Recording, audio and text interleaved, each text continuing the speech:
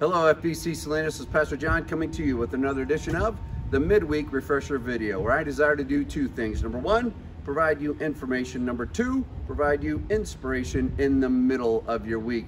Certainly hope your week is going well, and if not, may this video serve as a source of encouragement and a reminder that our God is with us that he cares for us and that he will not let us down all right? So hey here we go. Let's get into the informational portion. The first is this is that this sunday is palm sunday. We look forward to celebrating the arrival of jesus christ as he comes into jerusalem. People lay down palm branches and, they have a great experience of saying, Hosanna, blessed is he who comes in the name of the Lord, and we're grateful that he came and for what he's about to do.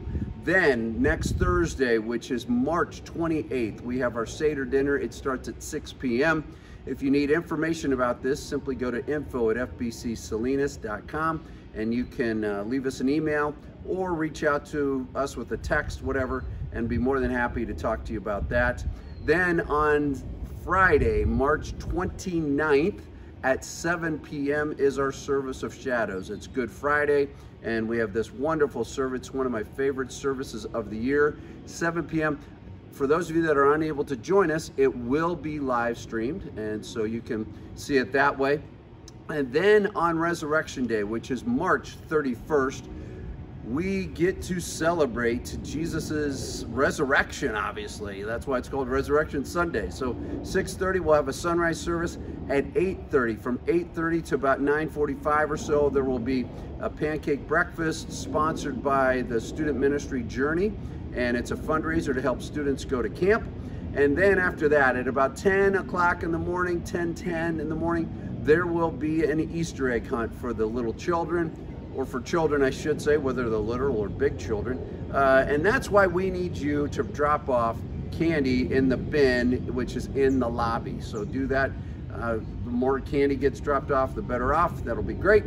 And then after that, at 10:30, we have our worship service celebrating the resurrection of our Lord and Savior Jesus Christ. So that is it for Holy Week, and I'm going to get back to that in just a moment.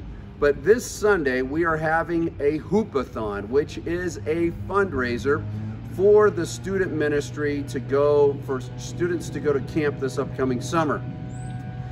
It'll be a great time. It will be after the worship service. Students are looking for uh, sponsors as they take baskets. Uh, we have a number of students that love to play hoops. And so we're going to be doing that as a fundraiser. There will be hot dogs available for lunch and chips, and we really want to show some great support to the students. I invite you to participate in that as we celebrate what God's doing in our student ministry with students going to camp. So that's this Sunday after church, all right, after our worship service in the gym. So we look forward to that. Hey, real quickly, and I'm going to get to it real quickly. The inspirational portion is this.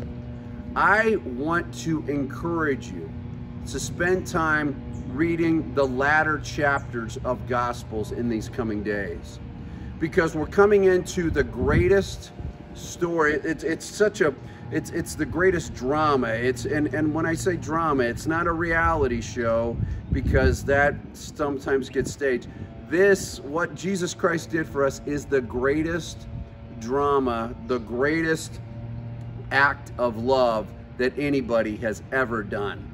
And one of the things that I that hit me the other day as I was looking at some passages in the latter parts of the Gospels is the word love gets tossed around a lot. And you're going to hear about it this Sunday. Jesus' love is a determined love, that he will love no matter what. So as you look at the latter chapters of Matthew, Mark, Luke, and John, you're going to notice that Jesus simply stays the course all the time because he has a love that is determined to finish what needed to be finished. And so my prayer for you, my prayer for all of us, is that we will be able to experience that determined love of Jesus Christ as we experience Holy Week this upcoming week. I love you. I hope you have a great rest of the day, and I look forward to worshiping with you on Sunday. We'll talk to you later. Bye bye.